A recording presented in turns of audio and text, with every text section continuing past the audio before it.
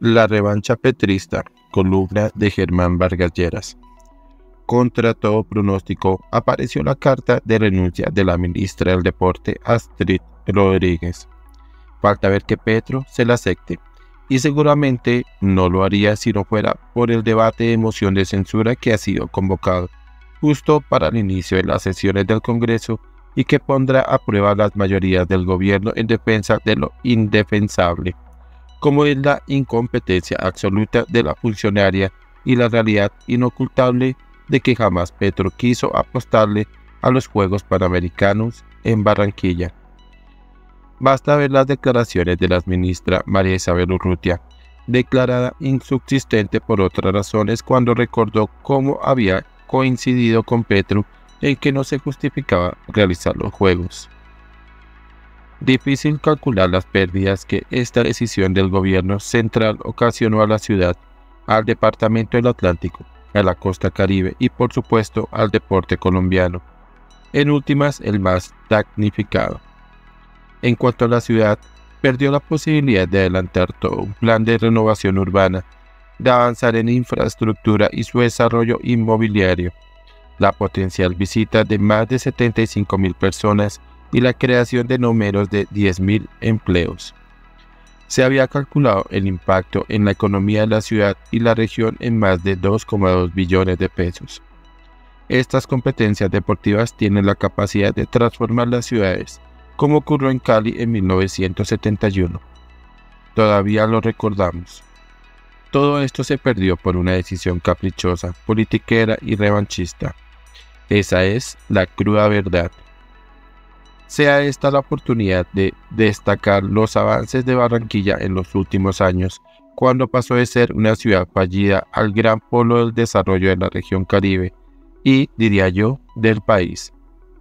Esta ciudad ha sabido aprovechar el apoyo de los tres últimos gobiernos nacionales y ha hecho su propio esfuerzo fiscal, definiendo propósitos claros y materializándolos. Los resultados saltan a la vista Tan solo destacar que su alcalde Alex Char fue elegido con una votación histórica y con el mandato de seguir la misma línea de desarrollo enfocada en el progreso social y el crecimiento económico. Pero lo acontecido con los Juegos Panamericanos no es más que el abrebocas de lo que pueden esperar los barraquilleros del gobierno Petro. Habrá que hacer milagros con los recursos propios y los regionales para mantener el nivel de inversión y el gasto social. Resulta insólito que se imponga semejante castigo desde el presupuesto a una región y ciudad en razón de mezquinos cálculos políticos. Para salvar la cara con el deporte ha anunciado Petro que más de 800 millones de dólares que se iban a destinar a los Juegos Panamericanos ahora se destinarán a los Juegos Intercolegiados del país, mejorando las instalaciones deportivas de los colegios y la preparación deportiva de la niñez y la juventud vale la pena aclarar las cosas. La suma a la cual se comprometió la actual ministra del Deporte para los Juegos Panamericanos es de 8, no 800 millones de dólares. El contrato para la realización de los Juegos Intercolegiados del 2022 tuvo un costo de 24.500 millones de pesos. Por lo tanto, es excesiva incluso una suma de 8 millones de dólares para este propósito en el 2024.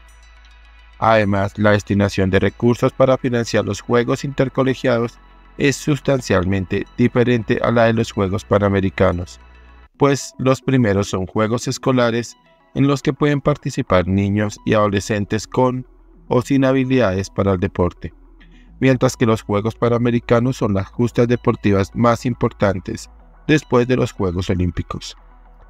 Tanto le importa a Petro los Juegos Intercolegiados que 2023 fue el primer año en la historia de estos Juegos desde 1911 en que no se realizaron.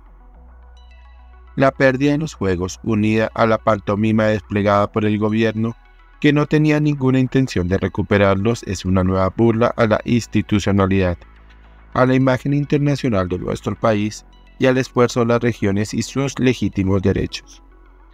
Es paradójico que los Juegos Panamericanos se hayan convertido en el escenario para el ejercicio del odio y la revancha petrista.